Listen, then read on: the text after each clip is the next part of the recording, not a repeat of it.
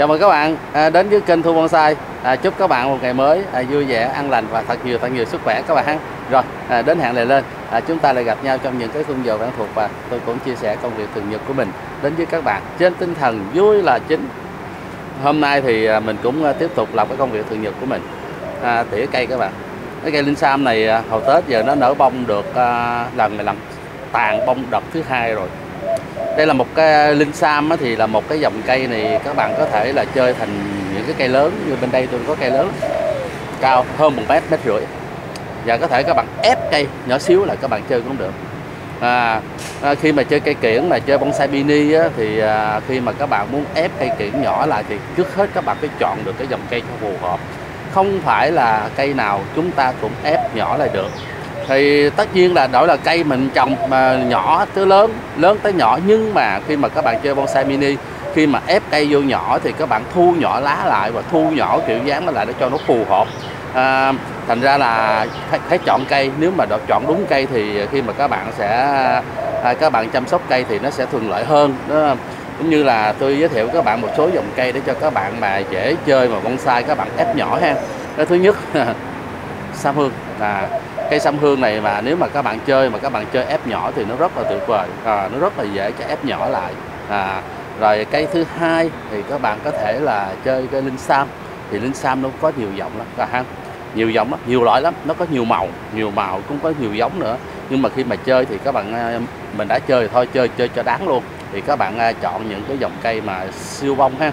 Sâm hương siêu bông sông hình thì cái loại đó bông rất là nhiều à, cái à, linh sam thì nó được à, nó được có một cái lợi thế là chúng ta có thể chơi dáng nè chơi bộ đế nè à, chơi bông rất là thuận lợi.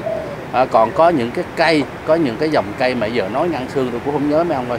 Có thể là các bạn chơi các bạn ép nhỏ lại nhưng mà không có thành công. Cũng như là các bạn rất là à, rất là phổ thông là cái dòng cây sứ này cây sứ này, này nhưng mà các bạn mà muốn ép nhỏ cây sứ này để mà chơi cái dạng giống như là cái dạng bonsai mini nhỏ nhỏ này không bao giờ cầm tay không bao giờ các bạn ép được hết trơn đến như vậy thôi nhỏ nhỏ cái tầm vậy thôi. Còn có nhiều người lấy cái cũ thì ghép ghép vô à, chơi một mùa thôi nhưng mà một năm sau nó cũng lớn lên nó lớn lên nó cũng phá dáng nó chơi không được. Đó là như vậy. Còn có những cây sap hương à, cây à, linh sam thì à, cây mai chú thủy thì các bạn có thể ép lại ép cây nhỏ các bạn có thể chơi được rất là nhiều năm chơi 10 năm 15 năm. Còn hơn nữa thì tôi chưa trải nghiệm tôi chưa biết. Còn mấy cây sứ ha chỉ có tầm vậy thôi chỉ có tầm để bạn như vậy thôi. À, chúng ta ép nhỏ nữa không được các bạn. Ừ. Và nếu bạn nào làm được thì à, thì chia sẻ kinh nghiệm ha để cho các bạn à, đọc môn cùng chơi để chúng ta cùng nhau trải nghiệm. À, thôi bây giờ tôi sẽ à, tỉa à, tỉa tốt cây linh sa này lại rồi sau đó vừa tỉa vừa tắn gốc vừa tắn dốc với mấy bạn chơi vui ha. À, đây nè các bạn. Cây này là cây cây này linh sa mà siêu bông. Cái loại này nó là cái loại cái loại màu màu màu này màu tím các bạn. Còn bên này của tôi là loại màu trắng nè. À, tím thì à, nó có hai loại cái loại màu à, màu tím à, tím thường với cái loại màu tím than. Ừ. bạn à, thích chơi màu kéo nè cắt, cắt về cho nó nhanh đi ha. Đó hớt gọn rồi khi mà chơi xong rồi các bạn chơi xong rồi các bạn mỗi một đợt ra bông thì các bạn chịu khó các bạn hái ha. Các bạn hớt ngọn nó. Cây nó có trái nè các bạn. Đây nè những cái trái nó như thế này nè đó nếu các bạn nào mà có nhu cầu á có nhu cầu thì các bạn cái trái của nó đó các bạn để cho nó chín nó chín nó khô rồi nó nó rụng mới lên nè. Cây này có một số trái già quăng đại cái lúc này nó lên đâu lên.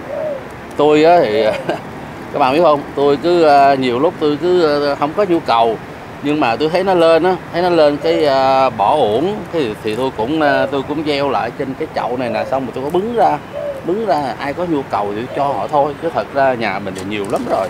Đó bây giờ tôi sẽ tôi sẽ hớt ngọn đó ha. Các bạn sẽ hái lá. Các bạn muốn cho nó ra bông thì à, các bạn chỉ cần sau một đợt à, một đợt nó ra bông như thế này. Muốn ra bông tiếp tục thì à, các bạn tỉa gọn lại. Tỉa gọn lại xong xuôi bắt đầu các bạn hái lá cắt lá hết. Cắt lá hết xong mình bón phân vô là bắt đầu nó tiếp tục nó sẽ ra bông được hai.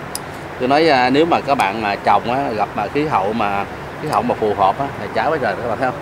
Khí hậu mà phù hợp á, thì nó có thể là mỗi một tháng nó ra bông một lần đó các bạn. À đây thì tỉa hết gọn ha khi mà tỉa như vậy á mình à, vừa kích thích cho cái cây cây của mình nó sẽ à, nó sẽ ra ra bông lần kế tiếp. À, thứ hai nữa đó, à, các bạn cắt như thế này thì các bạn ép giữ cái phôm cây nó lại á dâm cây nó sẽ không phát triển lớn nữa. Thì bởi vì à, tôi tôi muốn cho nó lên cái tầm về thôi. Chứ thật ra nếu các bạn muốn nuôi cho nó lớn thì lớn á thì các bạn để cho nó phát triển tự nhiên là lớn thôi.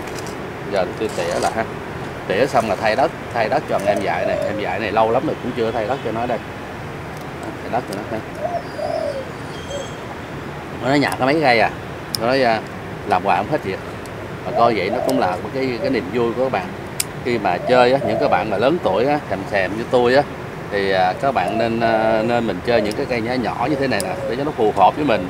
Chứ già là mấy ông ơi tôi nói à, chơi mấy cây bự á chơi cây bự thì nó đã ngắt thiệt á. Nhưng mà bưng bê nó không có nổi. Bưng bê gì nổi bưng bê bữa nào cặp tôi sống chết mẹ luôn. À, thành ra à, thôi thì à, mình phải lượng sức mình đi ha. Giờ tôi sẽ hái lá đi các bạn. À, hái lá nè. Hái lá ha. Có những cây lớn thì à, làm sao mà chúng ta có thể mà hái lá được? Cây lớn thì dễ thôi. Nếu mà cây lớn các bạn muốn cho nó hái lá hái lá ruộng cây thì các bạn cắt nước đó à, cắt nước nó chừng 3 ngày 4 ngày là bắt đầu nó vàng lá các bạn cứ rung rung rung rung rồi nó rung rung vô về là nó rụng hết à, à cũng dễ lắm. À, tôi à, vừa vừa hái lá vừa nói chuyện với các bạn thật ra tôi mới để vậy. Chứ thật ra cắt nước đó ha. Cắt nước là nó rụng đó à. mỗi một cái à, mỗi một cái cây ở nhà tôi á à, nó đều có một cái một cái kỷ niệm. Một cây nào nó cũng có cái kỷ niệm bởi vì à, mỗi lần mà tôi đi mà đi à, tôi đi giao lưu với các nhà vườn đó các bạn thường thường thì họ sẽ biếu tôi một món quà tôi làm kỷ niệm. Mà món quà kỷ niệm cho tôi á thì à, là thường thường tôi lấy cây à, à, cây thôi. Chứ à, lúc mà lúc mà mới vô nghề á, đi tới đâu nhậu tới đó à, nhậu dữ lắm. Mỗi lần à, làm phim vừa xong hả vừa phim vừa xong là mấy ổng cứ à, rủ đi nhậu à, rủ như nhậu. Cái tôi nói nhậu về sai bét nhẹ sai bét nhẹ luôn đó các bạn. À, riết là sợ quá. Nói thôi mình là mình từ chối mình từ chối những tiệc nhậu đó tôi không được mấy ông ơi cái kiểu này à, đi cứ mỗi lần đi quay phim ngày nào cũng nhậu nhậu kiểu này chắc có lẽ à, chết sớm quá. Thôi bắt đầu cái tôi cứ bỏ từ từ từ tôi không nhậu nữa. Chứ lúc trước là nhậu dữ lắm. À, sau này à, sức khỏe mình nó yếu rồi. Giờ thỉnh thoảng ví dụ như một tuần hai tuần thì gặp bạn bè bạn bè thân là, là chén tạc chén thù nói chung là tôi à, bây giờ chứ à, thỉnh thoảng lâu lâu à, cũng giật cũng được năm cọp. Ừ. cũng được năm con cọp. Giờ lớn tuổi thành như là huyết áp mình có vấn đề khi mà nhậu vô các bạn nó thường bị đau đầu á, đau đầu lắm. Nhậu, hầu nhậu thì sướng, đã cái miệng sướng lắm. Nhậu thì trời ơi, nói chuyện trên trời dưới đất rồi nói chuyện vui vẻ, nó khoái lắm. Nhưng mà tới chừng nhậu xong rồi các bạn nói cái ngủ giấc vậy nó đâu có đầu cũng chết như búa bổ thành ra tôi cũng ít có nhậu nhưng mà lâu lâu à, có bạn bè tới cũng chơi à chơi chơi à. Ấy cái bà xã bà cứ càm ràm mấy ông nói sức khỏe không biết lượng sức khỏe. Ông làm như ông còn trẻ lắm ông nhìn được ông coi. Già hắt rồi à, đi đứng không định thân nữa ăn nhậu cho cố vô là báo. Tôi nói à, làm cái cái thân phận đàn ông cũng khổ với bạn ha nhỏ thì ờ, lệ thuộc vô mẹ. Lớn lên rồi lệ thuộc vô vợ đi đâu cũng vợ cũng càm ràm càm ràm cần ngàn thuốc. Rồi dạ dạ như tôi rồi, vợ mốt mà vợ mà vợ mà hết càm ràm được rồi bắt đầu con cái quản lý, con quản lý. Nói về đàn ông khổ. Kiếp sau chắc ờ, làm đàn bà để đàn bà cho sướng, làm ông cực quá. Khổ.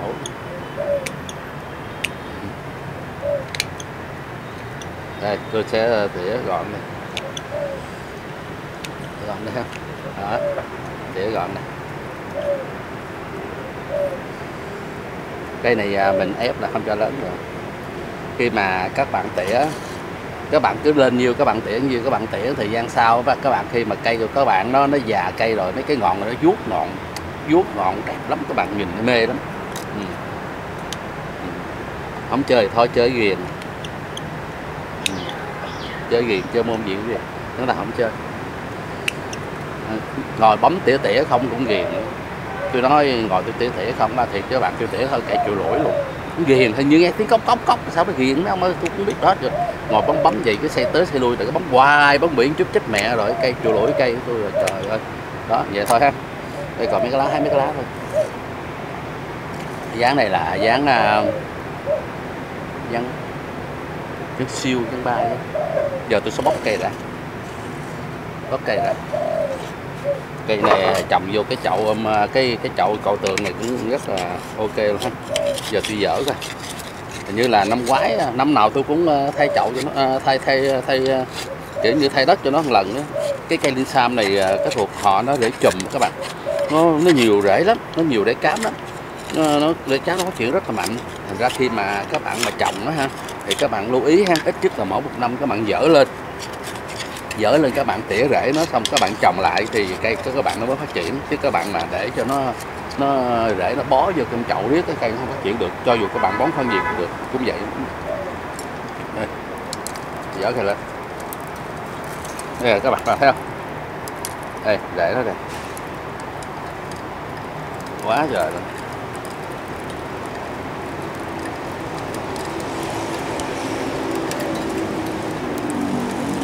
thấy không? Đó. tôi sẽ hớt tôi bỏ cái rễ đi. Bỏ rễ đi. Các bạn đừng sợ nó chết không chết đâu. Đợi chết vô cái khác. Mà chết ông nó rồi không chết các bạn đừng sợ. Khi mà các bạn tỉa như thế này nè ừ, các bạn uh, kích thích cho nó nó phát triển cái rễ. Còn các bạn mà không tỉa cho nó bó vô đây.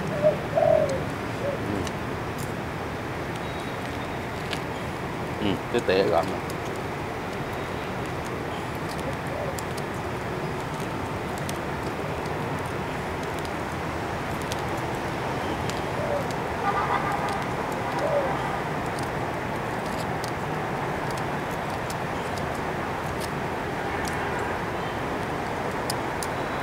cái cây á cây mà mình à, mình trồng trong chậu á mình trồng trong chậu từ nhỏ đó thì à, cái rễ cái rễ chính của nó nó bó gọn nằm trong đây. Khi mà nó lên nó bung ra ngoài thì nó toàn là bung với cái rễ cám. Thành ra khi mà thay đất thì các bạn chỉ cần là các bạn à, cắt bỏ mấy cái rễ cám này ra. Rồi nó sẽ à, tiếp tục nó sẽ lên rễ mới. Cây này à, do tôi cũng thay đất cũng hôm hôm giữa năm rồi. Giữa năm thay đất rồi. Hôm nay tôi làm phim tôi tiếp tục thay đất nữa cũng không sao các bạn. Đó các bạn thấy không? Ừ, trồng vô chậu trồng vô cái chậu này cũng được ha. Nè chậu âm tượng này. mua cái chậu này á thì à, các bạn à, đến cái à, tiệm Hải Vân Sơn. Theo tôi thấy Hải Vân Sơn này cái khu vực tôi tôi thấy hai ba tiệm hình như là nó, nó thuộc cái hệ thống của nó là sao tôi không biết. Nhưng mà chỗ này Hải Vân Sơn không có số nha. Tôi thấy có chỗ số 1 số 2 vậy. Hải Vân Sơn nó nằm ngay góc đường mà Phan Huy Ích Trường Trinh Phan Huy Ích Trường Trinh của quận Tân Bình. À, đối diện với hãng mì Vi Phong. Nếu mà các bạn mà đi đi mà từ hướng Hóc Môn về Sài Gòn thì nó qua cầu Thâm Lương. Bên tay trái à, còn các bạn mà đi đi về hướng Sài Gòn về Hóc Môn hướng Sài Gòn đi về à, về Hóc Môn Tây Ninh đó, thì nó nằm bên à, tay phải đối diện bị vi phong. Thì à, bà đó bán à, rất là nhiều cái cái dạng chậu cái loại này. Mà cái giá thành của nó à, nó cũng hơi chát một chút.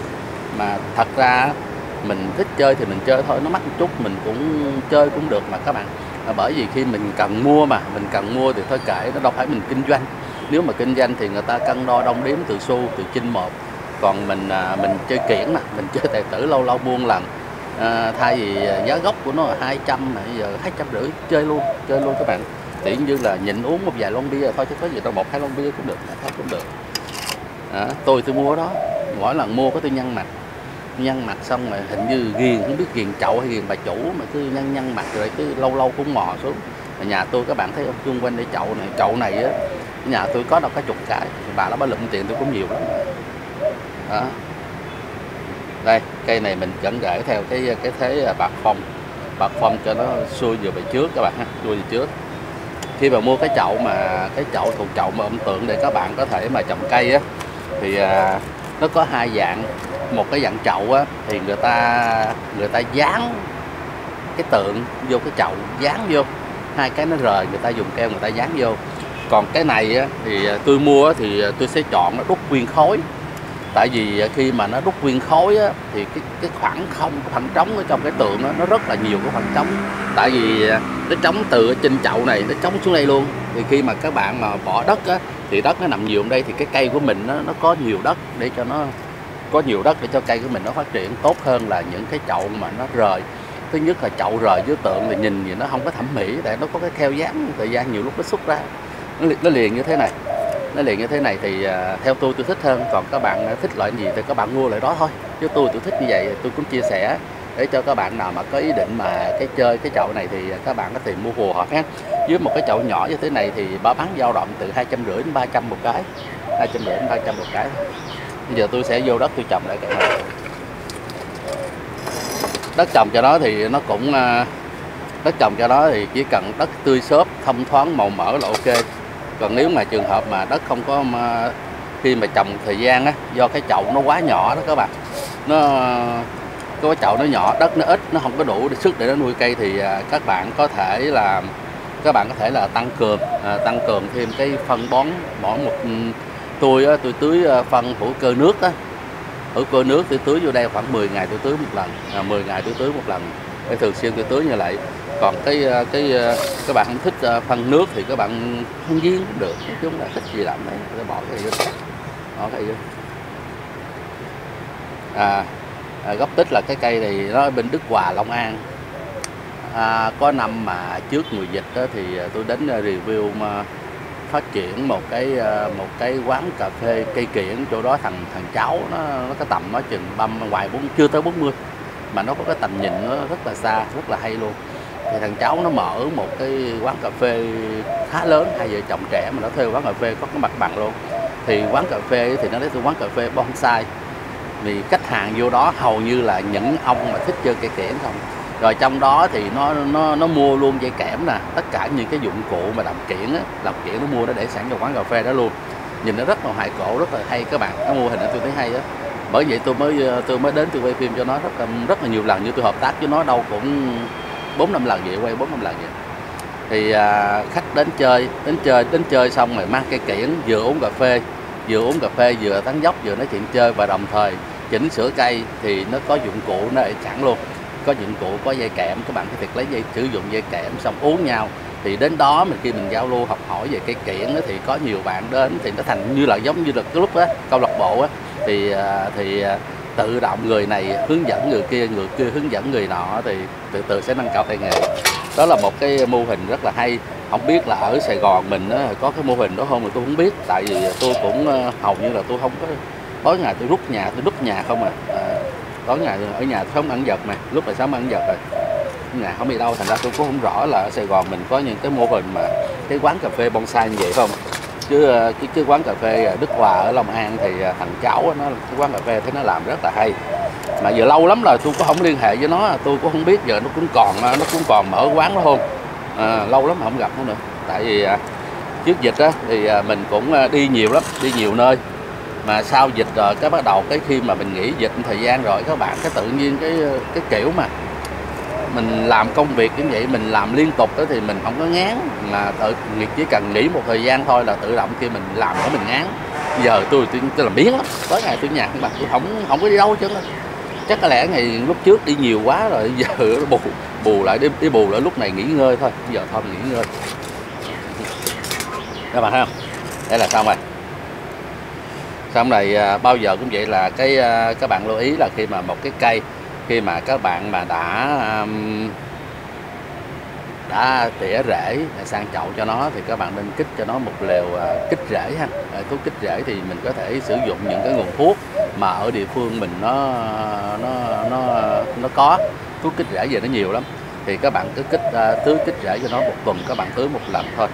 À, xong rồi tưới khoảng chừng 3 kỳ khi mà cây mà nó nó nó, nó bật chồi lên đó nó bật chồi lên này lúc đó thì các bạn cứ ngưng à, đừng có sử dụng mấy cái nguồn thuốc mà mấy cái chế phẩm mà để nó kích thích nhiều. Bởi vì à, kích thích nhiều á, thuốc kích thích là nó là con dao hai lưỡi mà à, dao hai lưỡi nó cũng có tác dụng phụ của nó thành ra mình cứ hạn chế mình tập nuôi cây cho nó ăn bằng cái nguồn phân hữu cơ á. À, thôi chứ đừng có đừng có cho nó sống lệ thuộc vô những cái thuốc nhiều thuốc nhiều nó dễ bị hư cây lắm. À, đây, cây này à, các bạn biết ép nó là tôi giờ tôi à, tôi sẽ giữ cái phơm dáng như vậy hoài. Các bạn khi mà các bạn tỉa nó ngắn như thế này rồi ha thì nó sẽ bung trồi lên nó ra một cái một cái đợt lá mới. Đợt lá mới thì mỗi một cái cơi đọt lá thì cây này cơi đọt lá của nó nó lên khoảng chừng cái tầm khoảng chừng 4 phân đến 5 phân bắt đầu nó bung có bông. À, khi nào có bông mà các bạn muốn giữ cái phun cây như cũ thì các bạn xả tàn lại. À, xả tàn nhỏ lại ngắn như thế này. À, thì cái cây của mình nó nó sẽ khi mà nó không phát triển được cái chiều cao á, thì nó tức mà tức thì bắt đầu nó mới nở cái chiều ngang ra nở chiều ngang ra cây các bạn thấy không? Cái cây này à, trồng từ hạt ha. Khi mà trồng cây mà bonsai mà chơi bonsai mini á có những cái dòng cây mà cái nó nó không có nó cái rễ của nó nó yếu á, thì các bạn nên chơi trồng cây à, có hộp vậy nè thì cái bộ rễ nó đẹp hơn. Khi mà các bạn mà chơi mà chiếc nhánh á chiếc nhánh đó thì nó nó sẽ nó sẽ có được cái những cái co nhưng mình như ý nó nhanh hơn nhanh hơn mà trồng từ hộp. Nhưng mà khi mình chiếc nhánh thì nó bù lại nó có cái cái cái cái bộ đế của nó bộ đế của nó thì nó nó, nó không có đẹp cũng như là cũng như mà chúng ta à, như mà chúng ta mà chơi à, chơi từ cây à, từ cái hộp ha. À, dễ thương các bạn ha. Nè cái à, cái co lắc này tôi cũng rất là tâm đắc rất là dễ yêu nè ha. À cây này các bạn các bạn thấy không? Cây này cũng của nhà vườn không biết vườn đâu có tặng cho tôi quên này lâu quá tôi cũng không nhớ nữa. À, à, cây này cây màu trắng à, cây màu trắng các bạn mới ra đợt bông nè. Để tôi chờ nó nở bông xong rồi tôi cũng xả tàn như vậy. Cây này tôi cũng ép lại. Ép lại ha. Tôi cũng ép nó nhỏ nhỏ như vậy ha. À, cây là màu trắng. Tôi có cây màu hồng nữa. rồi ok. Hôm nay à, mình cũng làm công việc thường nhật của mình và đồng thời mình à, cũng à, chia sẻ tâm sự cùng các bạn. À, một chút chút cái kiến thức nho nhỏ về cách mà chăm dưỡng cây ha. Đến đây mình cũng phải nói lời chia tay với các bạn rồi rất rất cảm ơn các bạn đã dành thời gian quý báu để xem thấy clip này. Nếu các bạn thấy clip phù hợp thì nhắc like, ủng hộ tinh thần người làm clip. Bạn nào mà chưa đăng ký kênh thì hãy đăng ký kênh để nhận được từ kênh những video mới nhất các bạn bye bye. Hẹn gặp lại các bạn trong những lần phát sóng kế tiếp.